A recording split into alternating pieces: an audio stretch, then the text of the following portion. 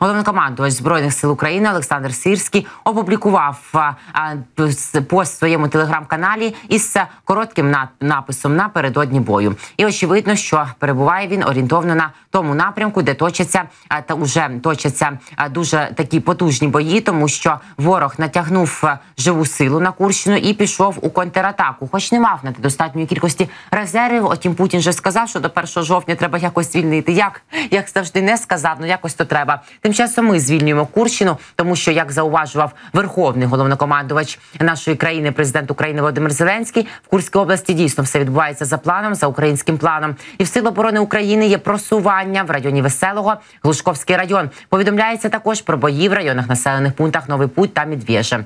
Мають просування українці і в районі Суджі. Тим часом російське командування перекинуло на Курщину підрозділи з ПВК Вагнер, що діяли в Африці. Про це йдеться в аналітичному матеріалі Американського інституту вивчення війни. Українські сили нещодавно просунулися у Глушківському районі Курської області, розташованому на захід від Кореневського району, де вже діють українські війська. 13 вересня у Глушковському районі е, тривали штурми Сил оборони України. Аналітики СВІ відшукали геолокаційні кадри від 13 вересня, які підтверджують просування українських військ на південь від веселого за три кілометри від українсько-російського кордону. Водночас деякі російські джерела запевняли, що українські сили атакували на південний захід від Лужкового в районі нового путі, веселого та медвежого. Хоча один з російських воєнкорів спростовував, що українські воїни увійшли до веселого. Водночас у Кореневському районі просування є як українців, так і у росіян. Згідно з геолокаційними кадрами від 12 числа, сили оборони мають просування у північно-східній частині Черкаського Черкаського порічного, розташоване на північ від Сужі. Водночас інші геолокаційні кадри підтверджують захоплення російськими військами села Снагось на південь від Кореневого. А ось доказів тверджень російських пропагандистів про те, що війська РФ повернули контроль над Покровським і Обухівкою на південний схід від Коренево, досі не знайшли підтверджень. Тим часом російські військові блогери запевняють, що Росіяни буцімто мали просування в південній частині руської конопельки, але теж не мають цьому ніяких підтверджень. Росіяни натягнули кого тільки могли на територію Курської області. Зокрема, може йтися і про особовий склад російсько-африканського корпусу, про приватну військову кампанію бригада Медведь, яка за деякими повідомленнями прибула з Африки після початку операції ЗСУ на Курщині. Також там 153 рази розбита дія бригади 155-ї окремої морської піхотної бригади, підрозділи 106 6-ї повітряно-десантної дивізії 51-го полку ВДВ, 173-го розвідувального е, батальйону, підрозділи російського 56-го полку і не тільки.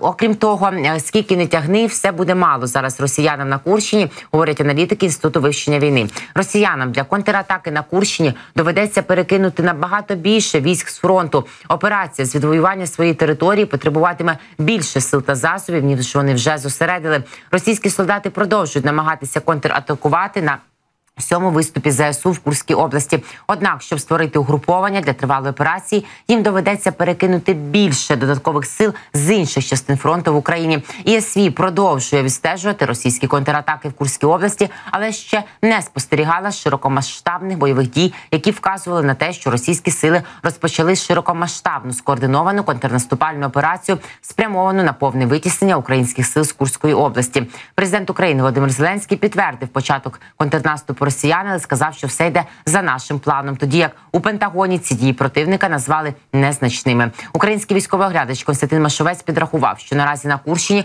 перебуває від 33 тисяч до 35 тисяч російських військовослужбовців. Водночас Зеленський наголошував, що росіяни хочуть накопичити від 60 тисяч до 70 тисяч вояк. Це значно більше ніж ті 50 тисяч, які за підрахунками американців потрібні РФ для зупинення наступу ЗСУ на їхній території. Досі Кремль у цьому питанні покладався на погано навчених і екіпірованих призовників, а також невеликі підрозділи регулярних і нерегулярних військ. Тому мало ймовірно, що зараз керівництво РФ відправило на оборону Курщини досвідчених бійців. Російська операція з відвоювання своєї території потребуватиме більше сил та засобів, ніж вони вже зосередили, особливо якщо їм бракує бойового досвіду. Зараз основну відповідальність за бої на цій ділянці несуть повітряно-десантні війська, які кинули з України.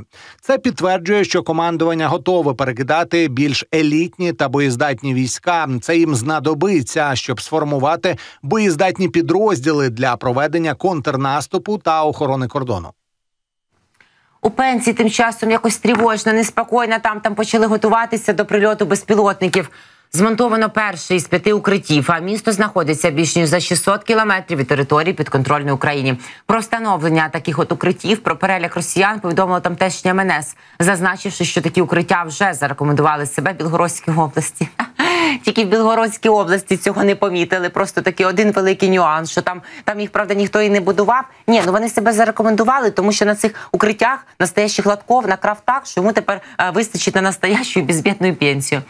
Е, Пенза знаходиться більш ніж за 600 кілометрів від території підконтрольній Україні. Однак вона все одно потрапляє до заявленої операційної дальності наймасовішого українського ударного дрону лютий, що становить тисячу кілометрів. Такі безпілотники завжди використовуються для ударів по російській території. Водночас варто зазначити, що про нальоти безпілотників на Пензенську область раніше не повідомлялося, на відміну, наприклад, від Мурманської, від Башкортостану, які стоять ще далі від України. Що стосується ракетних ударів, аналізують. Російські опозиційні медіа, навіть якщо західні країни дозволять бити далекобійними ракетами по міжнародно визнаній території Росії, то жодна з них не зможе долетіти до Пензи, оскільки їхня обмежена дальність 300 кілометрів. Але Пенза нічого, Пенза перестрахувалася, бо бачить, що дрони Божої волі летять на 1800 і більше кілометрів і е, долітають всюди до своїх цілей і не тільки.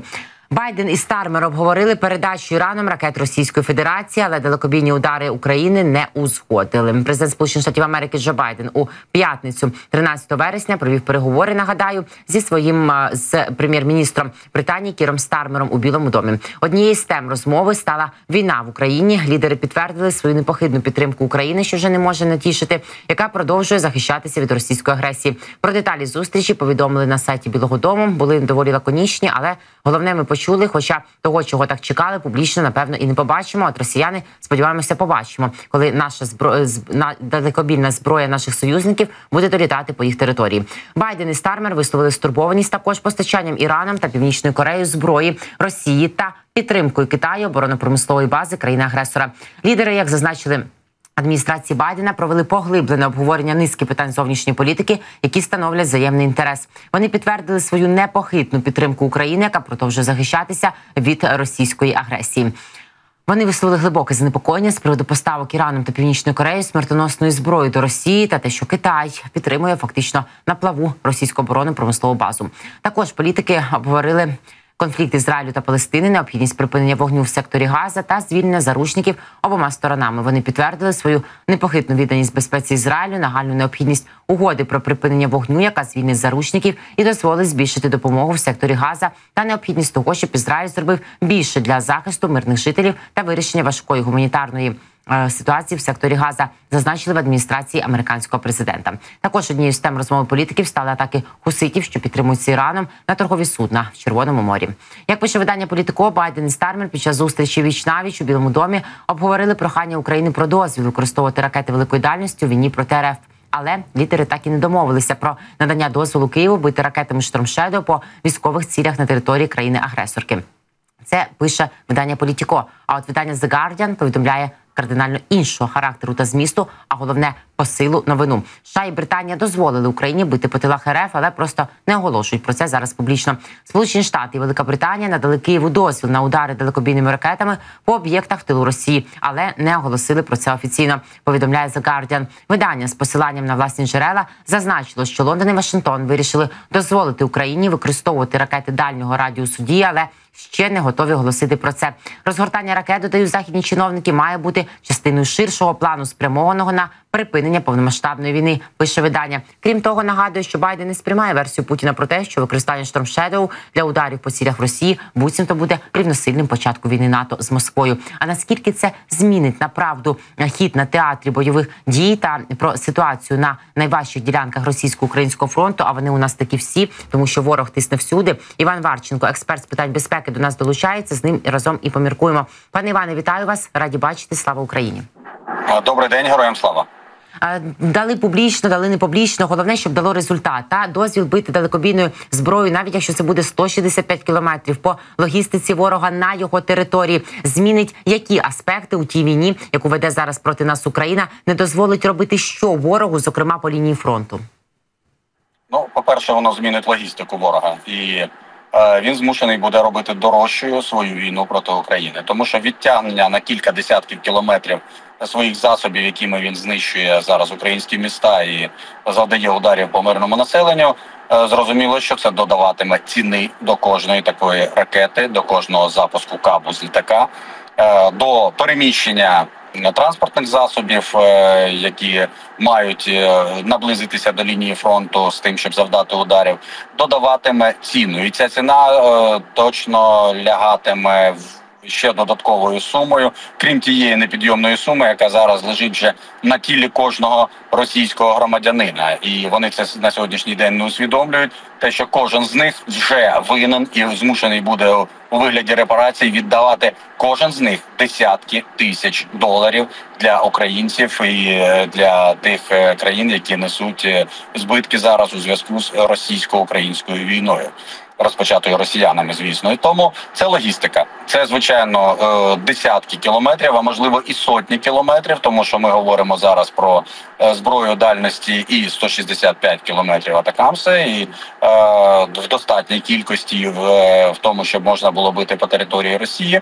І ми говоримо про ракети, які здатні долати відстань в 300-500 метрів. Mm. І зрозуміло, що це значно розширить радіус високоточного враження. Сюди потрапляють значна кількість російських аеродромів, з яких злітають зараз російські літаки. Сюди потрапляє значна кількість баз військових і баз тих, які забезпечують військових, наприклад, пальним.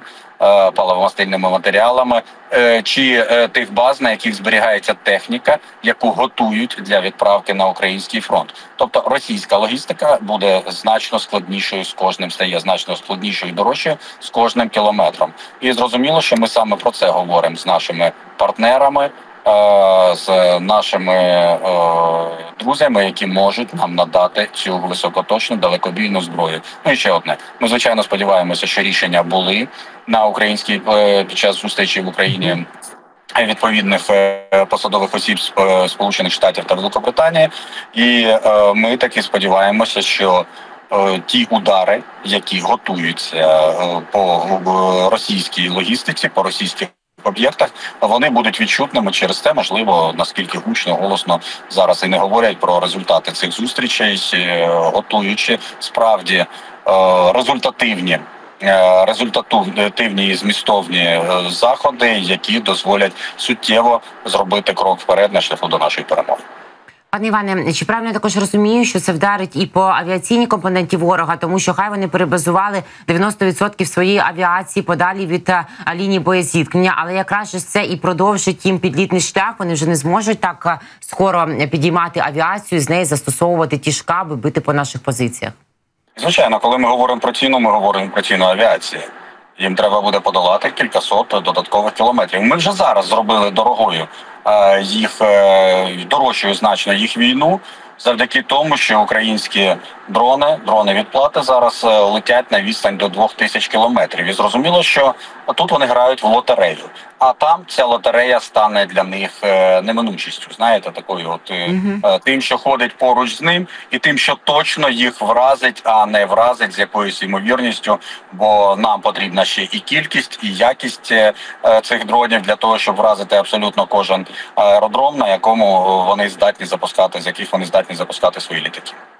Пане Іване, погрожує на перебіг, хто тільки може зараз використанням ядерної зброї на території Російської Федерації. Депутати Держдуми і Медведєв сьогодні прокинувся. Але е, це ми чуємо неодноразово. Втім, чи можемо ми у відповідь на дозволи бити по території Росії, коли Росіяни знайдуть уламки Shadows, наприклад, або просто з наслідки самої ракети, бо підозрюють через дірявість їхньої ППО, навряд чи вони будуть збивати все результативно. То чи можуть посилитись, наприклад, масовані обстріли України зі сторони ворога? Чи на такі кроки вони можуть іти? У відчаї? Знаєте, масовані кроки росіян вони прямо пов'язані зі спроможністю російського військово-промислового -hmm. комплексу. І коли ми фантазуємо і допускаємо якісь фантазії щодо неіщерпаємих багатств, закромов е, російської родини, в яких знаходяться е, мільйони снарядів, ракети того іншого, і це залежить лише від волі Путіна, пустити їх чи не пустити. Чим вони годують росіян, в принципі, що у нас е, потужність є, ми просто ще не починали. Пам'ятаєте цю історію, яку час від часу вони в різних інтерпретаціях повторюють, то е, насправді ми прекрасно розуміємо, що ніяких закромов родини немає. Що е, ракети, як гарячі пиріжки, практично з конвеєра летять в Україну. Що їм вдається за місяць зібрати сотню дві різноманітних ракет, в тому числі очищених від режі, застарілих моделей, і відправити їх е, в Україну. Що у них немає того військово-промислового комплексу, який би здатен був штампувати їх тисячами і мільйонами на сьогоднішній день. Через те е, ту ілюзію, яку вони намагаються сформувати в росіян, ну ми точно не повинні нею страждати, так само як не страждаємо е, ну на рівні раціональних військових е, військових аналітиків. Зрештою державного сектору, який займається війною, ми прекрасно розуміємо, що у Росії нема того ресурсу, який вона може підняти раптом і кинути в Україну. Вона змушена його робити і практично з коліс відправляти. Е, тому.